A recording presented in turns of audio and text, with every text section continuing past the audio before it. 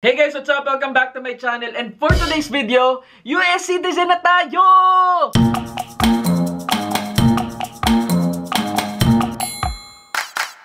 Hello guys! What's up? Wag ganun. Grabe, taba ko naman. For today's video, today, today is the last day na ako ay magiging Filipino citizen. Kasi today is my oath-taking ceremony sa aking naturalization or sa aking citizenship. Kasi mamaya, after lunch, ako ay isang magiging Amerikano na citizen. Amazing! After 5 years, guys, tayo magiging citizen na of the US of A. I still remember the day, di ba? So, ayun na nga guys, bilang today's Monday, of course, nasa office ako. Yan. And yung oath-taking ceremony ng USCIS is, I don't know, 5 to 10 minute walk from my building, office building. Kaya, papasok na muna ako at nagsabi naman ako sa boss ko. Sinabi ko sa kanya nung last week. Sabi niya ako niya, hey, sabi ko sa kanya, hey, ano, hey, ano, hey, basta yung pangalan niya, ganyan. I have a very important appointment on Monday. Ganyan. It's very important to my life. Pinendo ko na lang. Sabi ko, okay, I, I, I just wanna share. Because on Monday, I will officially become a US citizen. So, kwento na rin siya, ganyan, yung sahod daw niya, ganyan dati. So, naiintindihan naman niya and uh, lenient naman sa amin sa mga ganyan because it's important.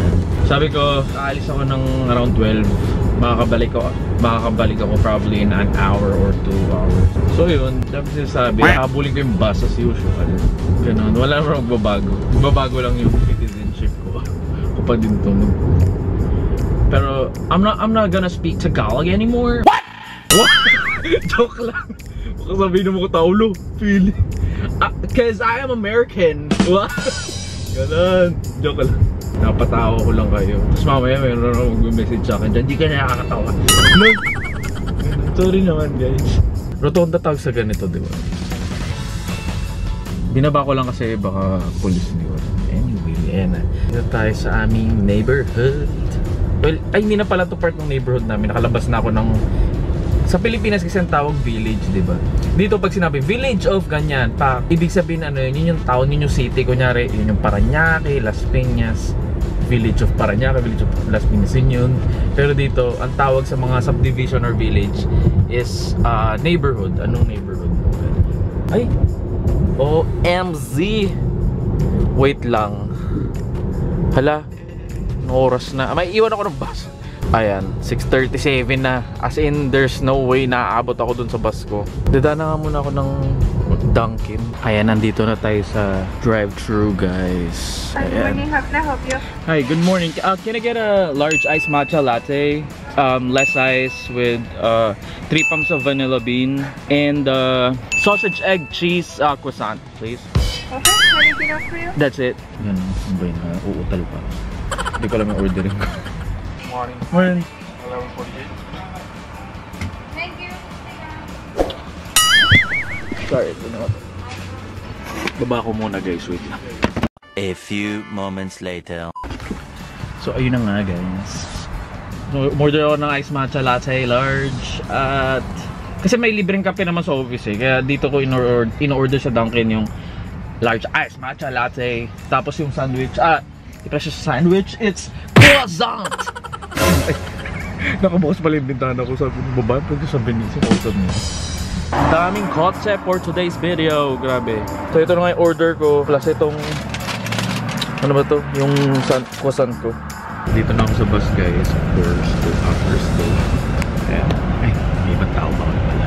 Ayos.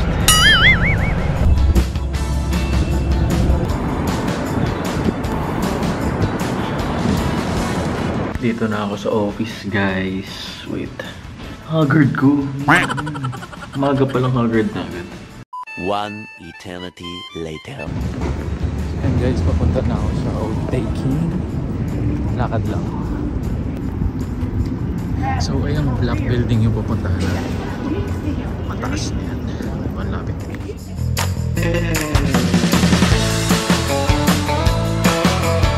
Asaya. so, ayan guys.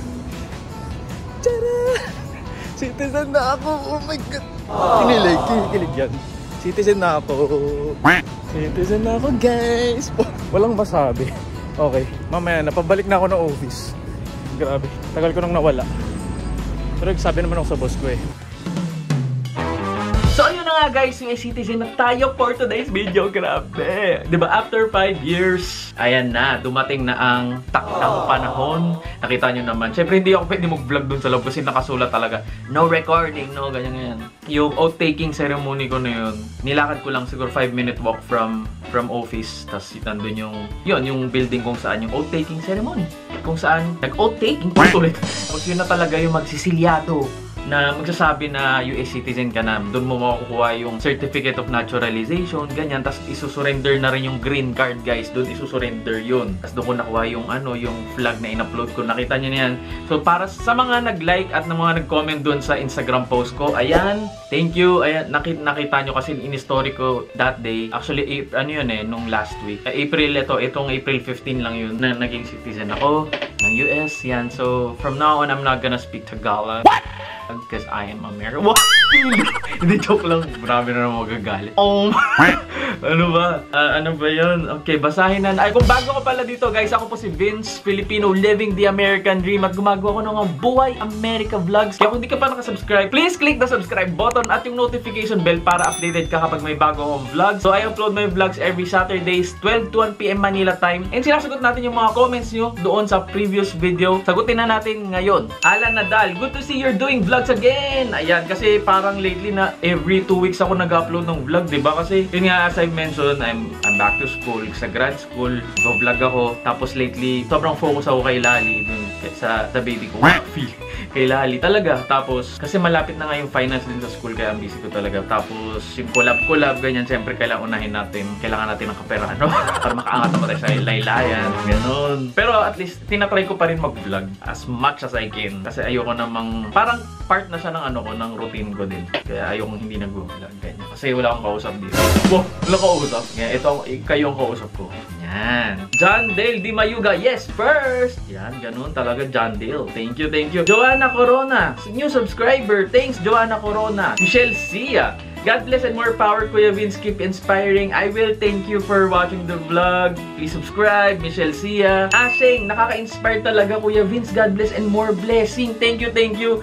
That again, palagi ko sinasabi, even before, that's why I'm, that's what I'm here for. Yung ma-inspire kayo. Kasi remember, ilang beses ko binanggit dati na kaya ako nag-vlog. I mean, dati, no, na, nanonood lang din ako ng vlogs. Even before going here sa US, noong 2018, ganyan, 2019. Nanonood lang din ako ng vlogs. And then sabi ko nga rin ako, total, mas marami to may inspire din. So yun, kaya kung bakit gina ginawa ko tong channel na to. Dan Del Mayuga ulit, Dan watching kuya. Sobrang powerful pala talaga ng blue passport ng US. Thanks sa info kuya Vince. Lalo tuloy ako nangarap lumay lumayan talaga. lumayan sa Pinas at i-unlock yung full potential ko sa ibang bansa. Hey, so yun, kung meron kang dreams, goals, um, John Dale, matutupad yan kung talagang gagawin mo ng paraan syempre. Hindi, hindi naman niya matutupad kung nangarap ka lang. Kailangan meron ka rin gawin.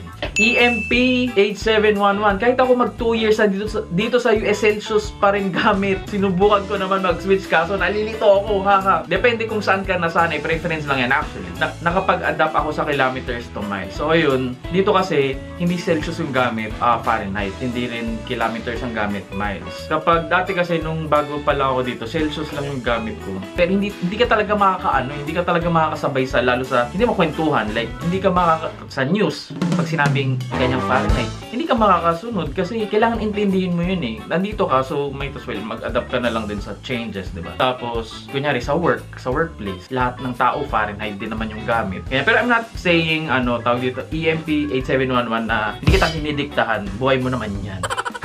Ganun siya sabi ko lang na dito tayo, syempre Fahrenheit. Pero it's really up to you. At the end of the day, Celsius, why not? Daniel Lorenzo. Hey Vince, did you previously work at ING in the Philippines? Yes, panoorin mo yung mga vlogs ko, yung mga una-una ko pang vlogs. Di pa ako marunong mag-vlog na yun. Wow, kala mo namang galing mag-vlog Hindi, yung mga una-una kong vlogs, may mga kasama ko mga taga-ING dyan. I was part of ING Football Club. ING, oh, ING FC yun. ING Football Club. Goalkeeper ako dati. Ganun, kala mo naman. Uh, yes, I work in ING from 2014 to 2019. Hindi naman ako umalis sa ING dahil ayoko lang. Umalis ako na ING kasi nag-migrate na ako dito sa US for good. Yes, 2014 ako nag-join na ING. I was part of the pioneer team. What feeling? Di, pero totoo, ilan pala kami dati? I remember, one floor pa lang kami nun dati sa BG, BGC. Hello sa mga taga-ING dyan. Orange Lions, naks. Yon. Just watch one of your vlogs where you were we- wearing an ING jersey. Yes, andito pa rin yung mga ING jersey ko. Madami yung sa football. I used to work there in finance services department. Oh wow. I wonder which company you ended up working there in the US. So panoorin mo yung mga vlogs ko. Hindi ko banggitin. Hindi ko naman binabanggit. Pero tingnan mo na lang ako sa LinkedIn. Vincent Leonardo. Yun yung pangalan ko. Vincent Leonardo sa LinkedIn. Or palagi, follow mo yung Instagram. Palagi ko pinapakita yung mga tanawin ko sa office. Basta yung green, yung color green na ano, na anchor. Alam mo na yun? Hindi ko kung pwede kong banggitin eh. Bahala na lang kayo. Hanapin niyo ko sa LinkedIn or follow me on Instagram. Lately, yung mga co- coworkers ko gustong sumali sa stories ko at mag-TikTok daw kami. Baka lang Sabi ko kasi artista ako sa Pilipinas. Niniwala naman yung mga low. Feeling. I wonder which company. Yun nga. So yun. I live in Vegas. Oh, Vegas. And I can relate to your job hunt experience. So yun, yung job hunting experience ko dito. Medyo, medyo mahirap din kasi pal, sinabi ko talaga, ang dami ko talaga in-applyan. 100 talaga. To ba? 100, 200 nga yata. Tapos ilan na yun. Hindi, maraming tumawag pero I ended up, siguro konti lang yung nakuha ako ng um, job offer. Tapos yun, sino yung pinakamaganda yung offer, ah yun na yung kinuha ko. Medyo mahirap siya, kaya ang, ang sinasuggest ko talaga, mag-apply ka ng marami, sabay-sabay. Kasi hindi naman agad yung tatawag sabay-sabay. Tapos what if binigyan mo ng gap, let's say, isa-isa lang apply mo, paano kung inoferan ka na ng isa, tapos binigyan ka ng deadline, di ba? So hindi sabi nila, parang take it or leave it. Eh di, kapag hindi mo tinanggapin, nawalan ka na ng opportunity. Kaya ang sinasabi ko is mag-apply ka ng marami at the same time. At para meron kang options, I mean. Options, options, options. Ganon. So yun. Emiliano Haran Jr. Hey Vince, kamusta? Nag-chat ako sa FB mo. Hey, hey. Oh, sorry naman, di ko pa yata nabubuksan. Ako yung bagong salta dito sa US. May mga questions lang. Questions lang. Question. Here pag Tagalog talaga, guys. May mga question lang. Emiliano Haran, sige. sige. Sa, eh, sa FB, okay, let me check. JB, JK7 IT. Hello Sir Vince, mag-ask lang po sana ako ng advice. Hehe. Sir, graduating na po ako this year and magte-take na rin po ako ng CPA board exam by next year. If maging CPA na po ako dito sa Philippines, bala ko pong mag-work sa Big 4 auditing firm sa Philippines at least 2 years. Ang goal ko pa rin po sana ay mag-work sa US kahit 5 years lang para makaipon. Possible po kaya Sir Vince na makaipon ako ng 250k above or 5,000 monthly. Yung 250k above po sana is yung malinis na savings na less na po dyan yung tax and mga living expenses. Matipid naman po akong tao and marunong din pong mag-ipon. Thank you po Sir Vince. I will be straightforward. In reality, I don't think you can save as much as 5,000 a month. That's after, tawag dito, after savings, less na yung tax and living expenses, 5,000? Mas baguhan ka dito sa US? I don't think so. Oo, CPA ka, pero ang starting ng CPA dito, at least dito sa Illinois, starting ha, kapag entry level, 60,000 US dollars a year. A year yun, ay divide mo by 12, syempre. Ilan yun? 60 divided, divided by 12, ano na yun? Ilan? 5. Yun na yun, tama ba? So again, hindi ko nga alam kung sapat na yung makakaipon ka, I mean, ng 5,000 a month after mag-save, after nung mga expenses a month. I doubt. Tapos bago ka pa lang dito sa US, medyo mahirap siya. Unless, meron ka bang titiran o wala, magre-rent. Oh, well, magre-rent ka rin, di ba? Tapos magbabayad ka ng kotse mo or kung mag commute ka lang, whatever, grocery, utilities. I don't think so. Comment down below guys kung nakaip, yung lalo sa mga nandito sa US, ha, kung nakakaipon ba kayo ng 5,000 naman para sa mga CPA dyan, malinis ha, 5,000 net after everything. For me personally, personally I don't think so. So yun, yun po yung real reality. Pero, let's look at the brighter side. So, mag-CPA ka muna to, dyan sa Big 4, punta ka dito sa US. Marami akong kilalang CPA dito na Pilipino na nandito nga ngayon. Um, I think, wala namang, yun na, on a lighter, lighter note, wala, na, wala akong nakitang naghirap na professional dito. So, makaipon ka pa rin. Kung sabi mo, matipid ka naman. Pero yung 5,000, I think it's sobrang laki niya. So, that's it for today, guys. Thank you so much for watching. Again, thank you, Lord, kasi citizen na tayo 5 years. Sobrang bilis lang niya. Palagi ko talaga sinasabi, I still remember the day na nag impake pala ako papunta sa US noong 2019 nga. Hanggang sa nasa airport ako. Ganyan. Or madali naman kasi panoorin yung vlogs. Though hindi ko pinapanood yung sarili kong vlog. Sinasa na nare-recall ko lang din yung kasi, kasi palagi ako nag-vlog, 'di ba? Nare-recall ko yung mga nangyari ganyan just looking back hanggang sa nakarating ako dito ganyan sa paghahanap ko ng work nakuha ko ng work ganyan. Anyway sobrang thankful lang ako medyo eto talaga not gonna lie, medyo nakakatakot din minsan kasi ay na naman, baka mali off na naman. Alam mo yun, yung mga ganun kasi sabi nga ng boss ko, we'll never know. Ganyan. Hindi naman permanent kunyari itong ginagawa natin, hindi naman permanent ito eh. Lahat tayo nagbabayad tayo ng mortgage, lahat tayo may kotse, ganyan. Yung nga pa talaga yung American dream na sinasabi. Anyway, yun yung parang typical na buhay dito sa Amerika. Bigla ko lang na-segue guys. Pero that, that's it. Uh, just grateful, thankful na US citizen na tayo. I'm just waiting for my passport. Pwede tayo mag-travel anywhere. Ganyan.